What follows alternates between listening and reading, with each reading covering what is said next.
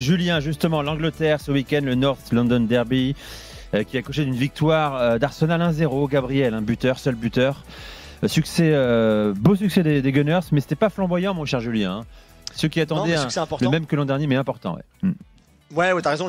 Même moi, j'avais prédit une victoire 3 de Tottenham. J'étais sûr qu'il y aurait beaucoup de buts. J'étais sûr que Tottenham à domicile, notamment dans un derby pareil, dans un match pareil, allait enflammer un petit peu tout ça. Qu'on ce serait un match assez ouvert. On savait comment Arsenal allait jouer plus ou moins parce qu'il leur manquait beaucoup de joueurs. Ils avaient que 14 joueurs euh, véritables de l'équipe première disponibles. Il y avait beaucoup d'absents, dont Declan Rice qui était suspendu et surtout Martin Odegaard qui s'était blessé avec la Norvège pendant la trêve internationale. Donc il manquait aussi euh, des joueurs comme Zinchenko, comme Calafiori, comme euh, comme Tomiyasu par exemple. Donc il manquait pas mal de joueurs aussi à cette équipe d'Arsenal. Donc on savait qu'ils auraient une approche un petit peu plus défensive qu'à l'habitude, qu'ils allaient jouer assez bas, qu'ils allaient miser sur, le, sur les contres euh, et aussi beaucoup sur les coups de pied arrêtés. On sait que c'est la grande faiblesse de Tottenham. Ces coups de pied arrêtés, c'est l'une des équipes en première ligue depuis l'arrivée d'Ange Postecoglou qui concède le plus de buts sur coups de pied arrêtés.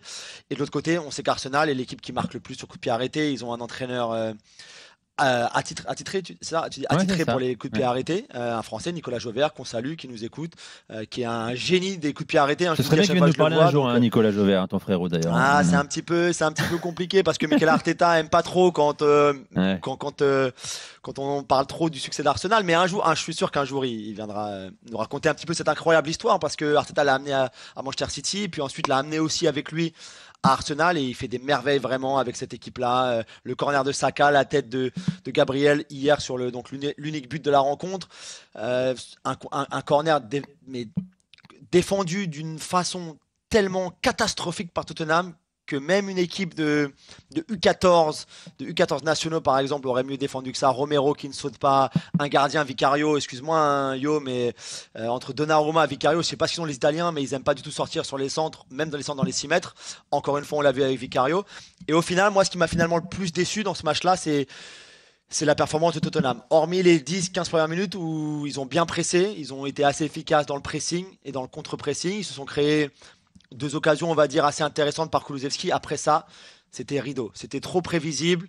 Euh, il n'y avait pas assez de créativité dans le jeu avec ballon. Ils ont eu beaucoup de ballon. Ils ont joué dans la moitié de, terrain d'Arsenal.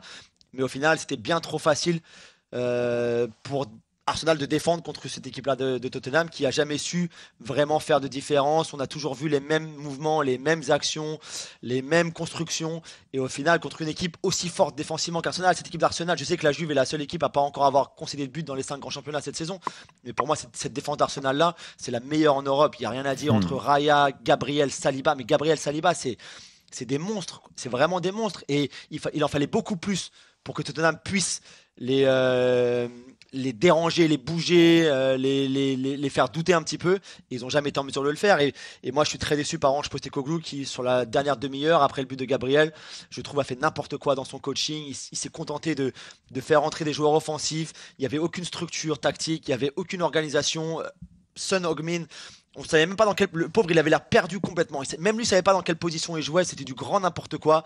Et, euh, finalement cette défaite de, Tottenham la troisième de suite hein, contre Arsenal à domicile. Pour la première fois depuis 1988 qui perdent trois matchs de suite à domicile contre leur, leur rival et voisin. Euh, pour moi elle est aussi en grande partie à cause de Postecoglou